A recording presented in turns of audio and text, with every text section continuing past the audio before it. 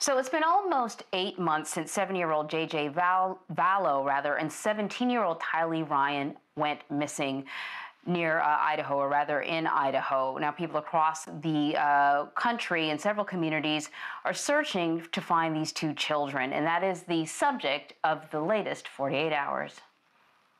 There's something about these two sweet faces that has stirred thousands of citizen cyber sleuths into action. Deanne Carter is a member of the Facebook group Christmas Misery, named for the time of year the children were announced missing. It's these two children. People connect. You want to help, you want to do what you can. Deanne's group created hashtags JJ Vallow and Tylee Ryan looking for pictures and eyewitnesses who may have been in Yellowstone the day that this photo of Tylee was taken.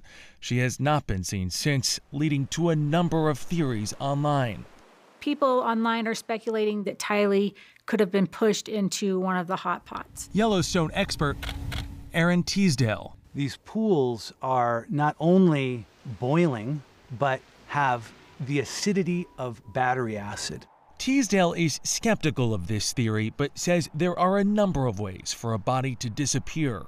If there is a dead thing in Yellowstone, the living community will find it it's entirely possible that there will be very little to find. But Lori's sister Summer and mother Janice say these theories are nonsense. She's not a monster. Lori would never harm her children, ever. JJ, say hi. Summer and Janice say there's a whole other side to this story, and the children are safe. Janice, do you think they're in a bunker somewhere? I think that's possible.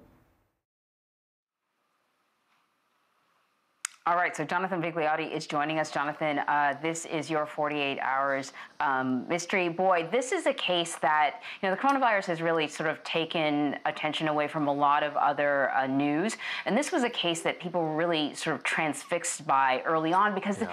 it was so confusing and there were so many layers. There's a whole other sort of aspect that we didn't get into about ex husbands and other murders and just yeah. very, very weird, weird stuff. Um, and so I, I got to wonder why is Lori Vallow's family choosing to speak out now? Because certainly beforehand there had been a lot of speculation about her.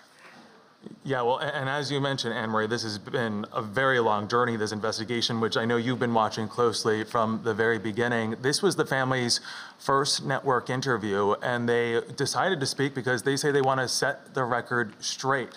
What I witnessed was a family really struggling to come to terms with everything that is unfolding, as you can imagine, much of the world that's watching this also struggling to come to terms with this. Uh, Lori Vallow's mother, Janice, you heard her briefly in our piece, and you'll hear from her a lot more in our 48 hour segment. She says that Lori Vallow is a loving mother, somebody that has been demonized in the media, but not the woman that they know. She tells me that Lori feared for her children's safety, and that's why she's not saying where they are, what that fear could be they were not able to truly articulate that, but they did say they believe the children are alive, well. You heard Janice say possibly in a bunker. That's one of the many theories that we look into for this report. Just fascinating. Uh, and I guess I got to wonder, uh, Jonathan, what's next in the investigation? Yeah, well, right now I'll focus obviously still on these two missing children. JJ and Tylee have not been seen since September.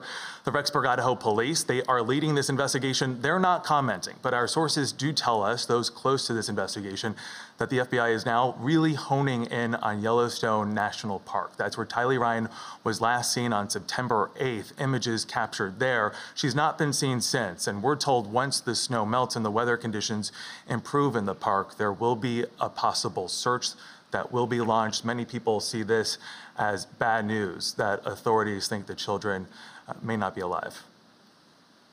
And then what about Lori Vallow? What's the status of her case? Yeah, as the search continues for these children, Lori Vallow has remained in a jail cell in Rexburg for now about two months. She has not said a word inside that jail cell. She's only speaking to her attorneys. Uh, as, as it stands right now, she has not actually made a plea yet. We're waiting for that preliminary hearing. It has been partially delayed uh, because of the coronavirus. We do know that she faces child abandonment charges, which carry a sentence of up to 28 years. Of course, all of this could be resolved if Lori answers that very simple question where are the kids? But again, at this point, she's remaining silent. Really fascinating. Uh, Jonathan, I believe this is your first 48 Hours mystery, uh, so I'm really looking forward to it. Uh, congratulations on uh, that. Um, it's just a really Thank you. interesting story. And you're right, Anne Marie and I have been talking about this since the story first broke, so we're really interested to see where you take us on uh, this week's 48 Hours. Jonathan, thank you very much. Thank you.